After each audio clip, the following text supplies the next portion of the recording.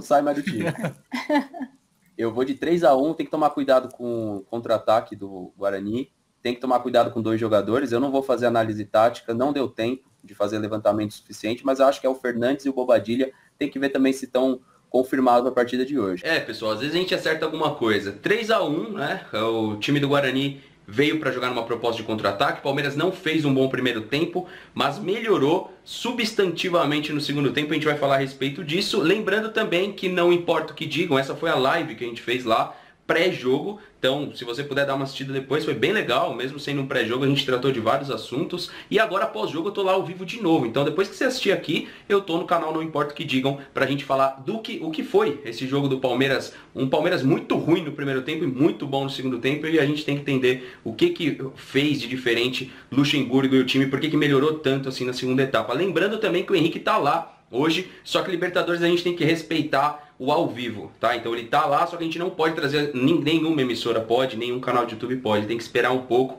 ali para trazer as informações ao vivo, mas zona mista é tranquilo, ele vai trazer, a gente vai falar também. Lembrando também que esse vídeo aqui tem apoio da Pops, aplicativo de vendas de segunda mão, se você tem alguma coisa na sua casa, camisetas, boné, eletrônico e quer anunciar, link na descrição desse vídeo. Vamos para análise, primeiro tempo, um Palmeiras que não jogou tão bem, porém eu fiz uma observação muito grande nos MC, ou seja, nos dois meio campo. Ramires, né? Ramires aí que é crônico, parece, né? O Ramires não consegue desempenhar um futebol em alto, em alto desempenho, né? Eu acho que, não sei se é a palavra certa, mas alto rendimento, talvez, acho que é a palavra certa.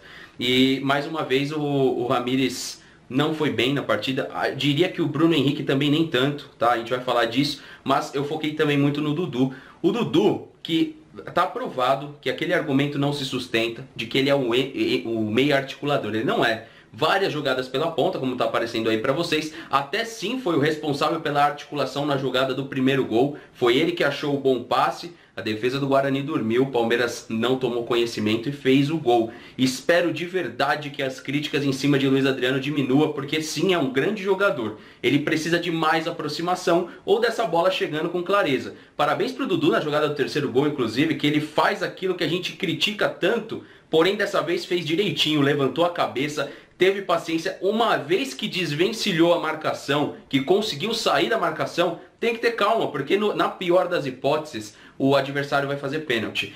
O Guarani ele veio com uma proposta bem clara desses times de primeira fase de Libertadores. A gente vai enfrentar um Bolívar lá em altitude, a gente vai falar disso, é um time também limitado, que venceu a partida de hoje deles. No entanto, ele, eles vieram naquela proposta que todo time é, argentino ruim vem, time paraguaio vem, tem times bons paraguaios, obviamente, não é tanto o caso desse Guarani. Quando jogou Corinthians e Guarani, eu fiz uma observação, porque eu queria muito o confronto Corinthians e Palmeiras nessa Libertadores, que não aconteceu, mas eu queria muito que tivesse acontecido. E, infelizmente, é, a gente teve um primeiro tempo tão ruim quanto o jogo lá do Corinthians. Eu acho que esse é um ponto a se destacar. Só que melhora no segundo tempo. Eu acho que todos os jogadores melhoraram no segundo tempo. Foi uma partida um pouco mais discreta, talvez, do William Bigode, mas houve uma melhora positiva ali para o Rony, uma boa melhora inclusive. Fez umas jogadas precipitadas no primeiro tempo um pouco apagado, assim como todo o ataque.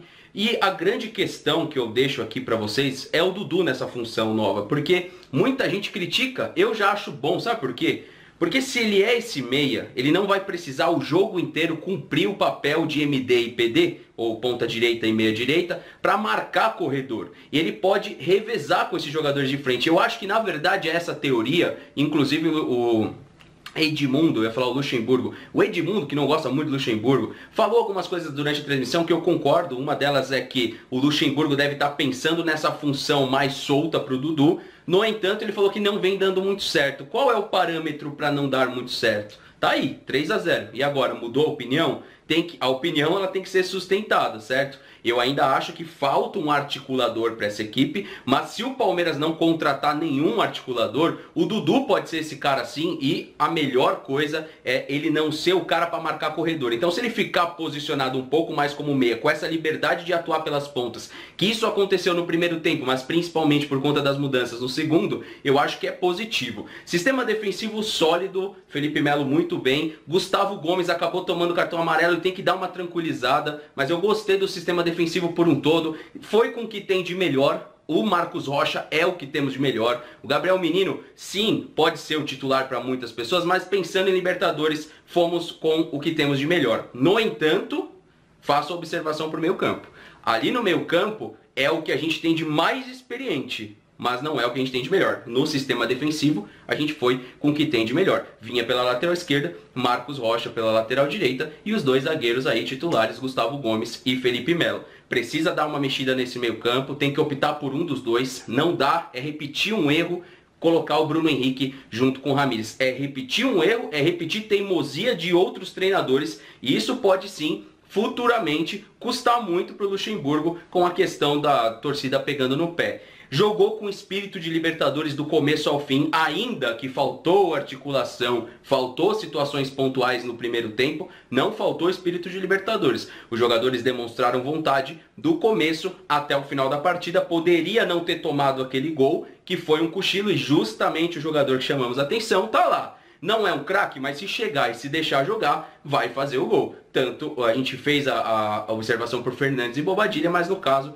o Bobadilha acho que foi o principal jogador do Guarani na partida de hoje. Bom, rapaziada, eu vou pro pós-jogo pra gente complementar com situações de coletiva do Henrique, zona mista, mas é o que eu vi na partida precisa ajustar essa questão de entrar com o primeiro tempo não tão sólido, e aí vir para segundo tempo, porque quando pegar uma equipe mais qualificada, o Palmeiras tende a sofrer. Lembrando que tá chegando perto, é dia 22, é o grande jogo jogo contra o Corinthians, mas precisa melhorar algumas questões pontuais. Guarani, time de primeira divisão. Então veio a primeira vitória contra um time de primeira divisão e deve isso dar uma tranquilizada para agora a sequência, né, principalmente Campeonato Paulista, e já visando essa partida que é essa partida. É para tirar os gambás da, da, do Paulistão também, que é a Libertadores deles, né? O que sobrou pro gambá nesse começo de ano é a Libertadores de todos os anos dele, né? O Paulistão, que é isso que eles sabem vencer de melhor aí, porque Libertadores sempre para na pré, né? É, parou na pré da pré e na pré pro Guarani, né? Enfim, nós vencemos o Guarani. Fiquei até com medo da camiseta aí, vim dar uma assombrada, mas não, ela vai ficar ali juntinho comigo na live.